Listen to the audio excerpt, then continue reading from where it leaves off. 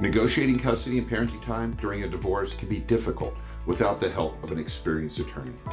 If you're considering divorce, call us today for a free consultation. Our divorce and family law attorneys have decades of experience and provide compassionate and personal representation.